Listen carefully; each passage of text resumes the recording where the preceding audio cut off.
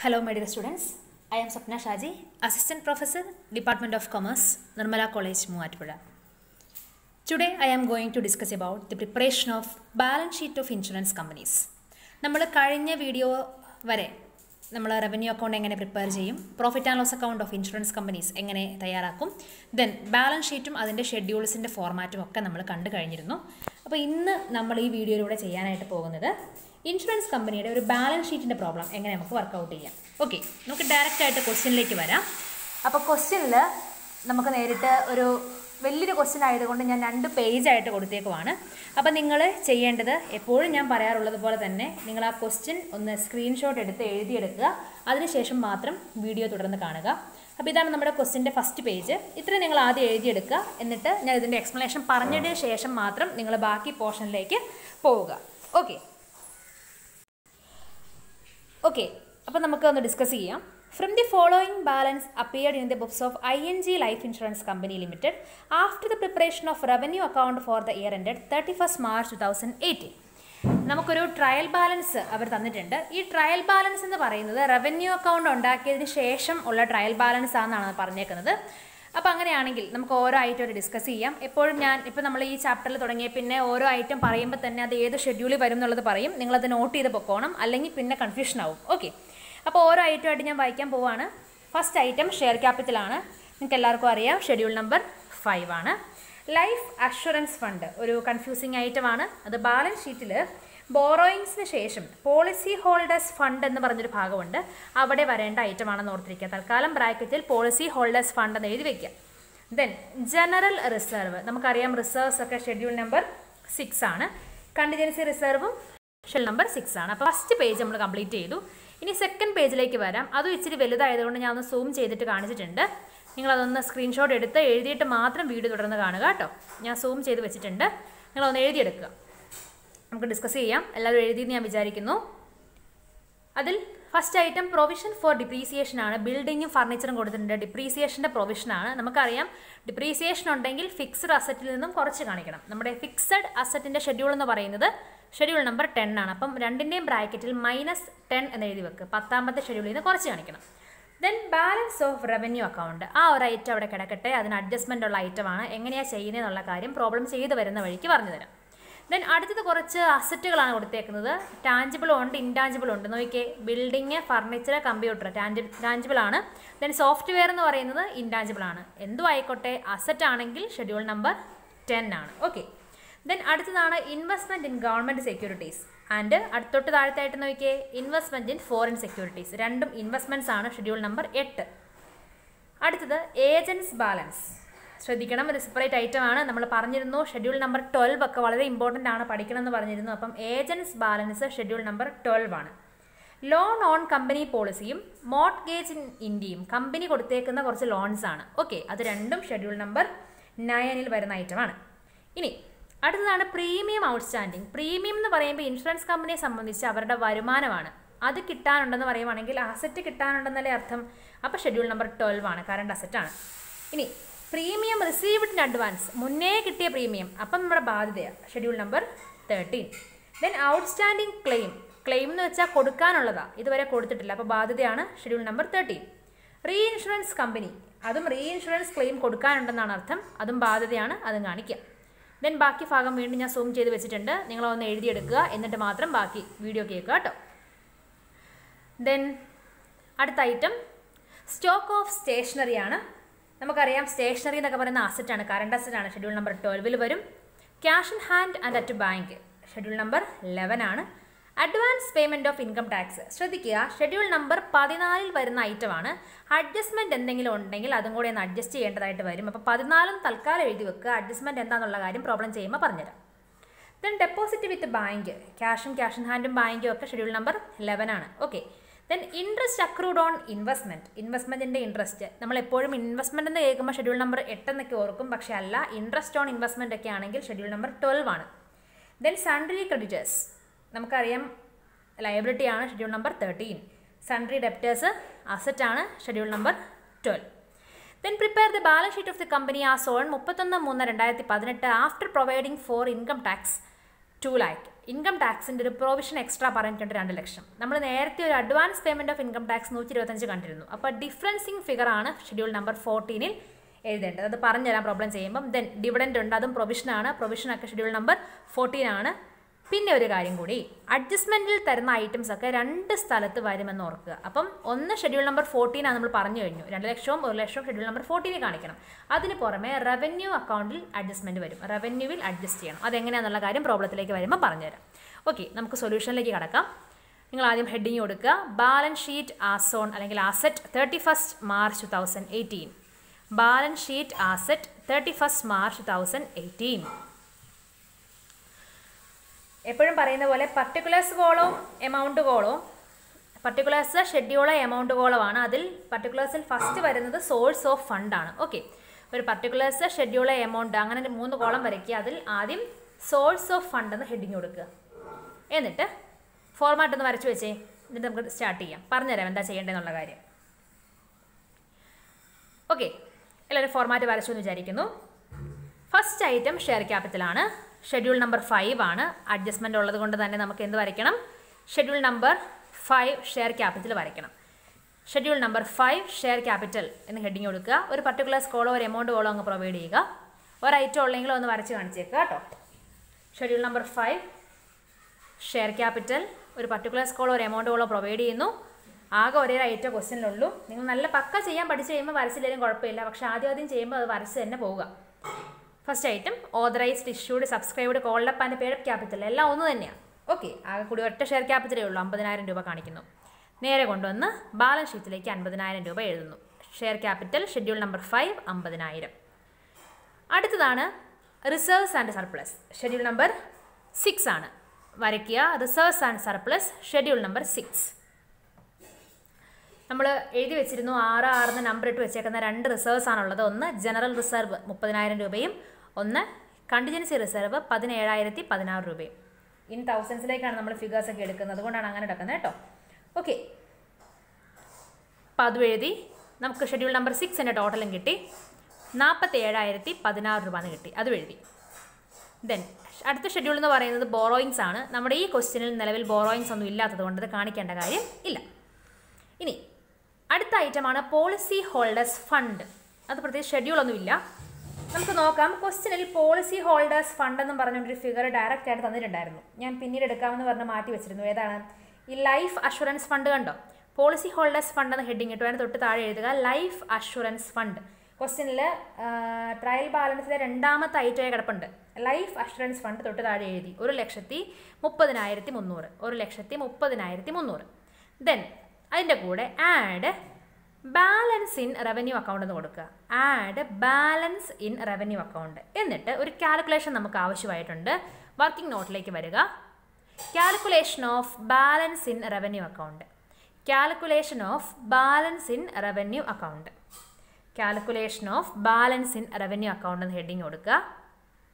നിങ്ങൾ ക്വസ്റ്റ്യനിലെ trial balance നോക്കുക ട്രയൽ ബാലൻസിൽ ആ പ്രൊവിഷൻ ഒക്കെ കഴിയുമ്പം അതിന്റെ തൊട്ട് താഴെയായിട്ട് ബാലൻസ് ഓഫ് റവന്യൂ അക്കൗണ്ട് എന്ന് പറഞ്ഞൊരു ഐറ്റം കൊടുത്തിട്ടുണ്ട്. പ്രൊവിഷൻ ഫോർ ഡിപ്രീസിയേഷൻ കഴിഞ്ഞ് കഴിയുമ്പം ബാലൻസ് ഓഫ് റവന്യൂ അക്കൗണ്ട് എന്ന് പറഞ്ഞുകൊണ്ട് ഒരു five hundred and ninety eight കിടപ്പുണ്ട്. അത് വെച്ച് വേണം നമ്മൾ സ്റ്റാർട്ട് ചെയ്യാൻ. അപ്പോൾ എഴുതിക്കൊള്ളുക. Revenue account balance as per trial balance revenue account balance as per trial balance amount അഞ്ഞൂറ്റി തൊണ്ണൂറ്റി എട്ട് അതിൽ നിന്ന് എന്തൊക്കെ കുറയ്ക്കണം? ഈ വർഷം പുതിയതായിട്ട് എന്തെങ്കിലും പ്രൊവിഷൻ ഫോർ ടാക്സോ ഡിവിഡന്റോ ഒക്കെ വന്നിട്ടുണ്ടെങ്കിൽ എന്ത് പ്രൊവിഷൻ ഉണ്ടോ ട്രാൻസ്ഫർ ടു റിസർവ് ഉണ്ടെങ്കിൽ അത് അങ്ങനെയുള്ള ഐറ്റംസ് ഒക്കെ ഉണ്ടെങ്കിൽ കുറയ്ക്കണം. ഓക്കെ അപ്പോൾ അഡ്ജസ്റ്റ്മെന്റ് നമ്മളോട് പറഞ്ഞിട്ടുണ്ട്. ടാക്സിന് വേണ്ടി ഒരു പ്രൊവിഷൻ രണ്ട് ലക്ഷം രൂപയും ഡിവിഡന്റിന് വേണ്ടി ഒരു ഒരു ലക്ഷം രൂപയും പ്രൊവിഷൻ ക്രിയേറ്റ് ചെയ്യാൻ പറഞ്ഞിട്ടുണ്ട്. അപ്പോൾ അത് രണ്ടും കുറയ്ക്കണം. ലെസ് പ്രപ്പോസ്ഡ് ഡിവിഡന്റ് തൗസൻഡ്സിലേക്ക് ആക്കുന്നതുകൊണ്ട് നമുക്ക് ആ ഫിഗേഴ്സിന്റെ പൂജ്യം കളയാം. അപ്പം നൂറ് വരും. ദെൻ പ്രൊവിഷൻ ഫോർ ടാക്സേഷൻ അതും തൗസൻഡിലേക്ക് ആക്കുന്നത് കൊണ്ട് രണ്ട് ലക്ഷത്തിന് മൂന്ന് പൂജ്യം കളഞ്ഞാൽ ഇരുന്നൂറ് വരും. കുറച്ച് കഴിയുമ്പം ഇരുന്നൂറ്റി തൊണ്ണൂറ്റി എട്ട് എന്ന് നമുക്ക് റവന്യൂ അക്കൗണ്ടിന്റെ ബാലൻസ് കിട്ടും. അതാണ് എവിടെ കൊണ്ട് ആഡ് ചെയ്യേണ്ടത്? പോളിസി ഹോൾഡേഴ്സ് ഫണ്ടിൽ ലൈഫ് അഷുറൻസ് ഫണ്ട് ബാലൻസിന്റെ കൂടെ നമ്മൾ ആഡ് ചെയ്ത് കാണിക്കേണ്ട ഫിഗറാണത് add balance in revenue account എന്ന് പറഞ്ഞുകൊണ്ട് ഇരുന്നൂറ്റി തൊണ്ണൂറ്റി എട്ട് രൂപയും കൂടെ കൂട്ടി ഒരു ലക്ഷത്തി മുപ്പതിനായിരത്തി അഞ്ഞൂറ്റി തൊണ്ണൂറ്റി എട്ടെന്ന് കിട്ടും. ടോട്ടൽ ചെയ്യുക. ഇതാണ് നമ്മുടെ സോഴ്സ് ഓഫ് ഫണ്ട് നമ്മുടെ മറ്റേ ഫോർമാറ്റിൽ പറയുകയാണെങ്കിൽ നമ്മുടെ ലയബിലിറ്റീസിന്റെ ഒക്കെ ടോട്ടൽ എന്നൊക്കെ പറയും. രണ്ട് ലക്ഷത്തി ഇരുപത്തി ഏഴായിരത്തി അറുന്നൂറ്റി പതിനാലെന്ന് കിട്ടി. ഇത്രയും വരെ ക്ലിയർ ആയെന്ന് വിചാരിക്കുന്നു. ദെൻ താഴേക്ക് വരാം. അടുത്ത ഐറ്റമാണ് ആപ്ലിക്കേഷൻ ഓഫ് ഫണ്ട് എന്ന് ഹെഡിങ് കൊടുക്കുക. ആപ്ലിക്കേഷൻ ഓഫ് ഫണ്ട് എന്ന് ഹെഡിങ് കൊടുക്കുന്നു. അതിൽ ഫസ്റ്റ് ഐറ്റം ഇൻവെസ്റ്റ്മെന്റ് നമുക്ക് ഷെഡ്യൂൾ ഉണ്ട്. ഇൻവെസ്റ്റ്മെന്റിനും ഷെഡ്യൂൾ വരയ്ക്കണം. ഷെഡ്യൂൾ നമ്പർ എയ്റ്റ് ഇൻവെസ്റ്റ്മെന്റ് ഒരു പർട്ടിക്കുലർ സ്കോളവും ഒരു എമൗണ്ട് കോളവും പ്രൊവൈഡ് ചെയ്യുക. ഷെഡ്യൂൾ നമ്പർ എയ്റ്റ് ഇൻവെസ്റ്റ്മെന്റ് ഒരു പർട്ടിക്കുലർ സ്കോളോ ഒരു എമൗണ്ട് കോളവും പ്രൊവൈഡ് ചെയ്യുന്നു. അതിൽ first item investment in government securities പതിനെണ്ണായിരത്തി അറുന്നൂറും then investment in foreign securities എഴുപത്തി എണ്ണായിരത്തി അറുന്നൂറ്റി എഴുപതും രണ്ടും കൂടെ കൂട്ടുമ്പം തൊണ്ണൂറ്റി ഏഴായിരത്തി ഇരുന്നൂറ്റി എഴുപത് നമുക്ക് കിട്ടും. അതുകൊണ്ട് നമ്മൾ എവിടെ എഴുതി വെക്കുന്നു? ഇൻവെസ്റ്റ്മെന്റിൽ എഴുതി വെക്കുന്നു. അടുത്ത ഐറ്റമാണ് ലോൺസ് ഷെഡ്യൂൾ നമ്പർ നയൻ നമ്മൾ അതും വരയ്ക്കണം ഷെഡ്യൂൾ നമ്പർ നയനിലേക്ക് നമുക്ക് വരാം. ഷെഡ്യൂൾ നമ്പർ നയൻ ലോൺസ് വീണ്ടും ഒരു പർട്ടിക്കുലർ സ്കോളോ ഒരു എമൗണ്ട് കോളോ പ്രൊവൈഡ് ചെയ്യുന്നു. എന്തൊക്കെ ലോൺ ഉണ്ട്? മോർട്ട്ഗേജ് ലോൺ ഇൻ ഇന്ത്യ ഉണ്ട്. നാൽപ്പത്തി അയ്യായിരത്തി അറുന്നൂറ് ക്വസ്റ്റിന് പറഞ്ഞിട്ടുണ്ട്.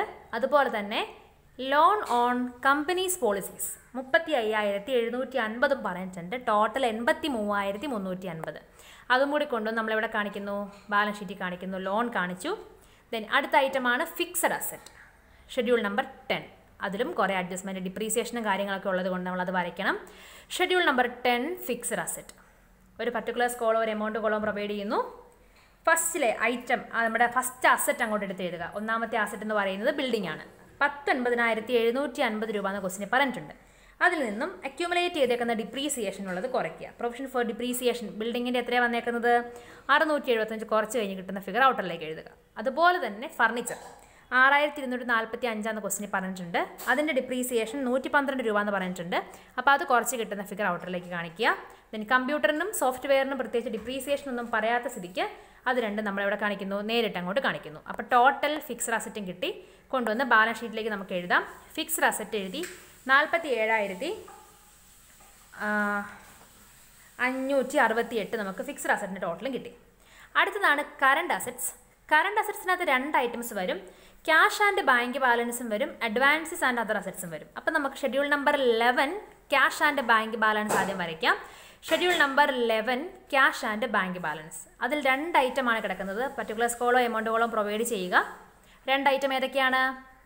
Cash in hand and at ബാങ്കും ഡെപ്പോസിറ്റ് വിത്ത് ബാങ്കുമാണ് ആയിരത്തി ഇരുന്നൂറും പതിനയ്യായിരവും. ടോട്ടൽ പതിനയ്യ പതിനാറായിരത്തി ഇരുന്നൂറ് വരും. അതും കൊണ്ട് നമ്മൾ എഴുതുന്നു. ഇവിടെ എഴുതുന്നു? Cash and bank balance schedule number eleven sixteen thousand two hundred എന്ന് നമ്മൾ എഴുതി. Then advances and other assets അതാണ് നമ്മുടെ കറണ്ട് അസറ്റ്സ് അല്ലേ? അപ്പം ഷെഡ്യൂൾ നമ്പർ ട്വൽവിലേക്ക് നമുക്ക് വരാം. കുറേ അധികം ഐറ്റം ഉള്ള ഒരു ഷെഡ്യൂളാണ് schedule number twelve schedule number twelve advances and assets okay ഒരു പർട്ടിക്കുലർ സ്കോളിൽ എമൗണ്ടുകളും പ്രൊവൈഡ് ചെയ്യുന്നു. നമ്മൾ പന്ത്രണ്ടെന്ന് പറഞ്ഞിട്ട് വെച്ചേക്കുന്ന എല്ലാ ഐറ്റംസും അങ്ങ് എടുത്ത് എഴുതി വെച്ചാൽ മതി. അപ്പോൾ ഈ ഒരു പ്രോബ്ലങ്ങളുടെയൊക്കെ പ്രത്യേകത എന്താ? ഷെഡ്യൂൾ ഏതാണെന്ന് ബൈഹാർട്ട് പഠിച്ചാൽ പ്രോബ്ലം ചെയ്യാൻ നല്ല എളുപ്പമാണ്. വേറെ അഡ്ജസ്റ്റ്മെന്റ് ഒന്നും ഇല്ല. ഓക്കെ അപ്പം ഏജൻസ് ബാലൻസ്? നൂറ്റി ഇരുപത്തൊമ്പത് കാണിച്ചു. ഔട്ട്സ്റ്റാൻഡിംഗ് പ്രീമിയം മുന്നൂറ്റി നാൽപ്പത് കാണിച്ചു. സൺട്രി ഡെപ്റ്റേഴ്സ് നൂറ്റി ഇരുപത് കാണിച്ചു. ഇൻട്രസ്റ്റ് അക്രൂഡ് ഓൺ ഇൻവെസ്റ്റ്മെന്റ് നാനൂറ്റി അൻപത് സ്റ്റോക്ക് ഓഫ് സ്റ്റേഷനറി അൻപത്തിയെട്ട്. അങ്ങനെ മൊത്തം ആയിരത്തി തൊണ്ണൂറ്റി ഏഴ് എന്ന് നമുക്ക് കിട്ടും. അതും കൂടി കൊണ്ടുവന്ന് നിങ്ങൾ ബാലൻസ് ഷീറ്റിലേക്ക് എഴുതുക. ഇനി പറയുന്ന കാര്യം ശ്രദ്ധിക്കാം. ക്യാഷ് ആൻഡ് ബാങ്ക് ബാലൻസ് പതിനായിരത്തി ഇരുന്നൂറും advance and assets schedule number twelve ആയിരത്തി തൊണ്ണൂറ്റി ഏഴ് നമുക്ക് കിട്ടി. ഇനി ഇവിടെയാണ് നിങ്ങൾ തെറ്റിക്കാൻ പോകുന്ന ഒരു ഏരിയ പറയുന്നത് കൃത്യമായിട്ട് മനസ്സിലാക്കണം. ഒരു കാരണവശാലും ഈ ഭാഗം തെറ്റിക്കരുത്. സബ് ടോട്ടൽ എ എന്ന് പറഞ്ഞു കിടക്കുന്ന ഹെഡിങ് നിങ്ങൾ നോക്കുക. അവിടെ നിങ്ങൾ ടോട്ടൽ എടുക്കേണ്ടത് ഈ എട്ട് ഒൻപത് പത്ത് പതിനൊന്ന് പന്ത്രണ്ട് എല്ലാം കൂടെ ചേർത്തുള്ള ടോട്ടൽ അല്ല എടുക്കേണ്ടത്. ശ്രദ്ധിക്കുക. ഇതെല്ലാം കൂടെ ചേർത്തുള്ള ടോട്ടൽ അല്ല എടുക്കേണ്ടത്. അവിടെയാണ് നിങ്ങൾ തെറ്റിക്കുന്നത്. സബ് ടോട്ടൽ എ എന്ന് പറയുമ്പം ഈ പതിനൊന്നാമത്തേന്റെ എമൗണ്ടും പന്ത്രണ്ടാമത്തേന്റെ എമൗണ്ടും മാത്രം കൂട്ടിയെടുക്കുക. അതായത് പതിനാറായിരത്തി ഇരുന്നൂറ് പ്ലസ് ആയിരത്തി തൊണ്ണൂറ്റിയേഴ് അപ്പോൾ എത്ര വരും? പതിനേഴായിരത്തി ഇരുന്നൂറ്റി തൊണ്ണൂറ്റി എന്നും പറഞ്ഞ് നമുക്ക് ആ ഫിഗർ കിട്ടും. ഓക്കെ പതിനേഴായിരത്തി ഇരുന്നൂറ്റി തൊണ്ണൂറ്റി ഏഴെന്നും പറഞ്ഞ് നമുക്ക് എന്ത് കിട്ടും? ഫിഗർ കിട്ടും. ഏതൊക്കെ തമ്മിലേ കൂട്ടാൻ പാടുള്ളൂ? പതിനൊന്നും പന്ത്രണ്ടും തമ്മിൽ മാത്രം കൂട്ടുക. അതായത് പതിനാറ് ഇരുന്നൂറും ആയിരത്തി തൊണ്ണൂറ്റി ഏഴും മാത്രം കൂട്ടുമ്പോൾ നമുക്ക് എത്ര കിട്ടും? പതിനേഴായിരത്തി ഇരുന്നൂറ്റി തൊണ്ണൂറ്റി ഏഴിന് കിട്ടും. അതവിടെ നിൽക്കട്ടെ അങ്ങനെ എഴുതി വെക്കുക. ഇനി നമുക്ക് ബാക്കി. ഇനിയുണ്ട് ബാലൻസ് ഷീറ്റ് തീരുന്നില്ല ഇവിടം കൊണ്ട്. ബാക്കി അടുത്തതിലേക്ക് വരാം. അടുത്ത് നമ്മൾ എഴുതാനായിട്ട് പോകുന്നത് കറണ്ട് ലയബിലിറ്റീസ് ആണ്. കറണ്ട് ലയബിലിറ്റീസിന്റെ ഷെഡ്യൂൾ എന്ന് പറയുന്നത് പതിമൂന്നാണ്. നമുക്ക് വരയ്ക്കേണ്ടതായിട്ടുണ്ട്. ഷെഡ്യൂൾ നമ്പർ തേർട്ടീനിലേക്ക് നമുക്ക് വരാം.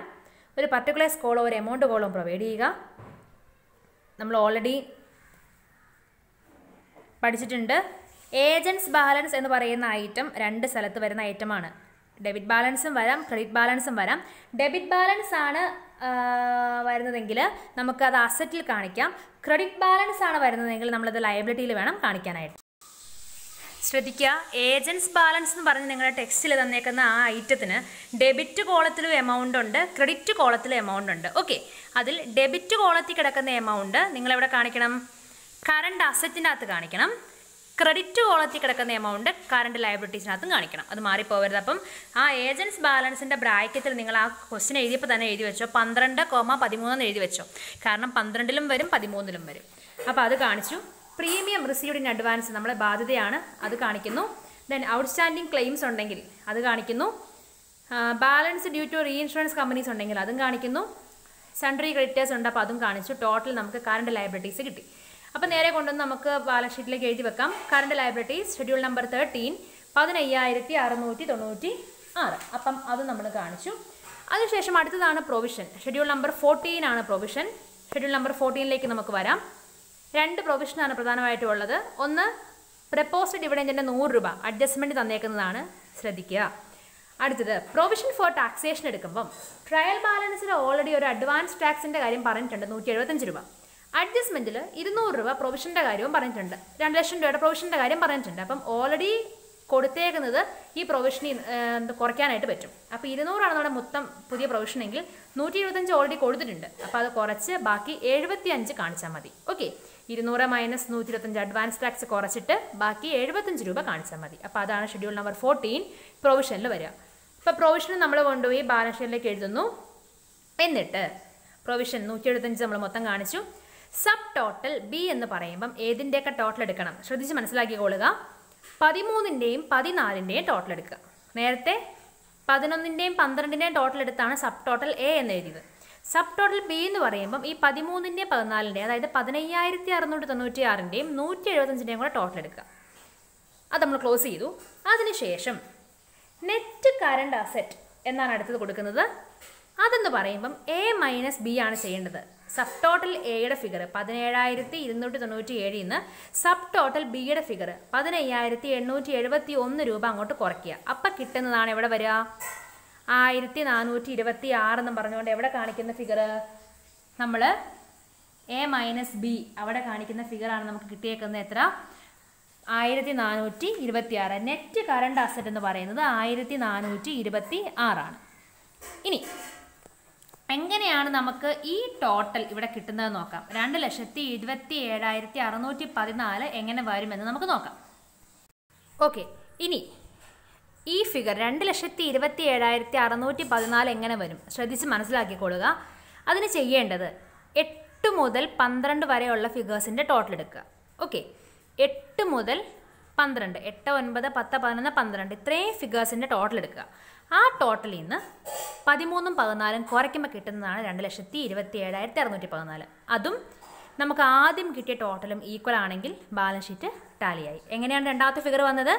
എട്ട് മുതൽ പന്ത്രണ്ട് വരെയുള്ള നമ്പേഴ്സിന്റെ ടോട്ടൽ എടുക്കുക. ഓക്കെ എട്ടാമത്തെ ഷെഡ്യൂൾ എന്ന് പറയുന്നത് ഇൻവെസ്റ്റ്മെന്റ് ആണ്. ഇൻവെസ്റ്റ്മെന്റ് മുതൽ അഡ്വാൻസ് വരെയുള്ള എല്ലാത്തിന്റെയും ടോട്ടൽ എടുത്തിട്ട് അതിൽ നിന്ന് പതിമൂന്നും പതിനാലും ഷെഡ്യൂളിന്റെ ആ എമൗണ്ട് അങ്ങോട്ട് കുറയ്ക്കുമ്പോൾ കിട്ടുന്നതാണ് രണ്ട് ലക്ഷത്തി ഇരുപത്തി ഏഴായിരത്തി അറുന്നൂറ്റി പതിനാല്. ഈ കിട്ടിയ ആൻസറും ഇവിടെ കിട്ടിയ ആൻസറും ടാലി ആണെങ്കിൽ നമ്മൾ ചെയ്തേക്കുന്ന ആൻസറും കറക്റ്റായി അപ്പം എങ്ങനെയാണ് ഒരു സിമ്പിൾ ബാലൻസ് ഷീറ്റ് ഇൻഷുറൻസ് കമ്പനിയുടെ ഏറ്റവും സിമ്പിളായ ഒരു പ്രോബ്ലം നമ്മളിപ്പോൾ ചെയ്തത്. ബാലൻസ് ഷീറ്റ് പ്രിപ്പയർ ചെയ്യുന്നത് എന്നുള്ള കാര്യം എല്ലാവർക്കും മനസ്സിലായെന്ന് വിചാരിക്കുന്നു. രണ്ട് സ്ഥലങ്ങളിലാണ് അഡ്ജസ്റ്റ്മെന്റ് വരുന്നത്. ഒന്ന് ബാലൻസ് ഷീറ്റിന്റെ അവസാനം സബ് ടോട്ടൽ എ അത് പന്ത്രണ്ട് പതിനൊന്നിന്റെയും പന്ത്രണ്ടിന്റെയും ടോട്ടലാണ് ദെൻ സബ് ടോട്ടൽ ബി എന്ന് പറയുമ്പം പതിമൂന്നിന്റെയും പതിനാലിന്റെയും ടോട്ടലാണ് രണ്ടും തമ്മിലുള്ള ഡിഫറൻസ് ആണ് എന്തെന്ന് പറയുക? നെറ്റ് കറണ്ട് അസറ്റ് എന്ന് പറയുക. ദെൻ ബാലൻസ് ഷീറ്റ് ടോട്ടൽ എന്ന് പറയുമ്പോഴത്തേക്കും എട്ട് മുതൽ പന്ത്രണ്ട് വരെയുള്ളത് കൂട്ടിയിട്ട് അതിൽ നിന്ന് പതിമൂന്നും പതിനാലും കുറയ്ക്കണം. അപ്പോൾ ബാലൻസ് ഷീറ്റ് ടോട്ടലും കിട്ടി. പിന്നെ ഒരു അഡ്ജസ്റ്റ്മെന്റ് വന്നത് പോളിസി ഹോൾഡേഴ്സ് ഫണ്ടിലാണ് അതെന്ന് പറയുന്നത് ക്വസ്റ്റിന് തന്നേക്കുന്ന റവന്യൂ അക്കൗണ്ട് ബാലൻസിന്റെ അഡ്ജസ്റ്റ്മെന്റ് കയറി വരും. അതും കൂടെ ചേർത്താണ് നമ്മൾ പോളിസി ഹോൾഡേഴ്സ് ഫണ്ട് എടുക്കുന്നത്. അപ്പം ഇത്രയും കാര്യങ്ങൾ മനസ്സിലായിട്ടുണ്ടെന്ന് ഞാൻ വിചാരിക്കുന്നു. എന്തെങ്കിലും ഡൗട്ട് ഉണ്ടെങ്കിൽ നിങ്ങൾ വീഡിയോയ്ക്ക് താഴെ നിർബന്ധമായിട്ടും കമന്റ് ചെയ്യുക. കഴിഞ്ഞ തൊട്ട് മുമ്പിട്ട വീഡിയോയിലെ ഏതോ ഒരു പ്രോബ്ലത്തിൽ ഒരു ടോട്ടൽ ഫിഗറിൽ ചെറിയ മിസ്റ്റേക്ക് ഉണ്ടെന്ന് കേൾക്കാൻ പറഞ്ഞു കേട്ടിരുന്നു. അത് ടെക്സ്റ്റിലെ ആൻസർ ഞാൻ അങ്ങനെ തന്നെ എഴുതിയപ്പോൾ വന്നു പോയ മിസ്റ്റേക്ക് ആയിരിക്കും. അപ്പോൾ മിസ്റ്റേക്ക് ഉണ്ടെങ്കിൽ നിങ്ങൾ കാൽക്കുലേറ്റ് ചെയ്ത് നോക്കുക.